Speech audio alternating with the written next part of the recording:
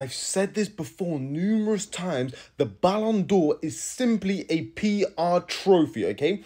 Ever since Messi robbed Haaland of that award last year, everybody knows the truth now. And I swear to you, if this PR merchant Jude Bellingham goes anywhere near that award, I will absolutely lose it, okay? Listen, don't get me twisted. Jude Bellingham is an elite footballer. However, to say that he's a Ballon d'Or player, no, no, no, okay?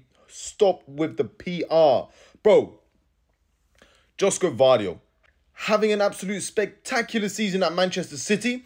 2024, he's on five non-penalty goals. Guess how many Jude Bellingham's on? Go on, guess before I show you.